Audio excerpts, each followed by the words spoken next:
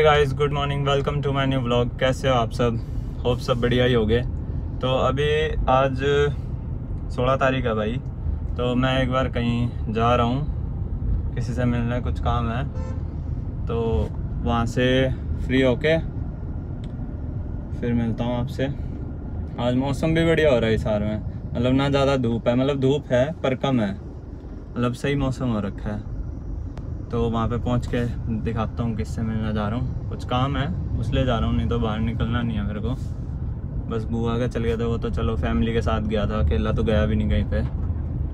तो मिलते हैं वहाँ पे पहुँच के चलो। भाई भाई से मिल लिया हूँ और अब ये जा रहा है अपने रूम पे। जा रहा है ना? ना जाऊँगा मैं तो। यहाँ पे है ना तेरा रूम रोड क्रॉस कर लेगा ना या करवाऊँ। बीमार आदमी भी ये बात कहने लग रहा है। अब तो ठीक हो चुका भाई। ना ना बीमार आदमी। है? बीमार आदमी है। और क्या हाल है तेरे?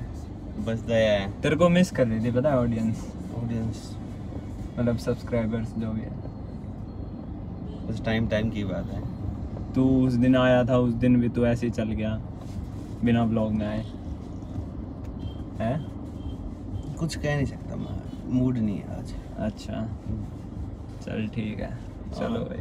बीमार आदमी है बाकी देख देखियो इसने बीमार आदमी। बीमार आदमी तो ठीक है फिट एंड फाइन। चलो भाई ठीक। है भाई भाई घर पे आ चुका हूँ और अब खाना खाएँगे। क्या दलिया? सब्ज़ी। आलू और किसके हैं? पालक? साठी। के है। साठी का साग। भाई। पहले अच्छा वो वहाँ से बुआ कैसे तोड़ के लाए थे वो? आलू की सब्ज़ी और साठी का साग और प्याज, टमाटर। ठीक। चलो भाई, खाते हैं, देखते हैं कैसा होता है। ऐसा कुछ है दिखने में। साठी का साग और ये दलिया। चलो, खाते हैं। भाई, अभी हो रहे हैं पौने सात और अब मैं बाहर बैठ रहा हूँ मतलब भैया और के साथ जो पड़ोस में रहते हैं।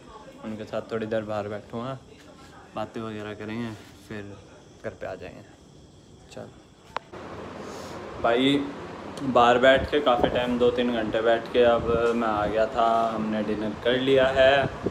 तो अब हम इस ब्लॉग को ये एंड करते हैं। मिलते हैं आपसे नेक्स्ट ब्लॉग में। Hope you like the video if you like the video please like and subscribe my channel bye good night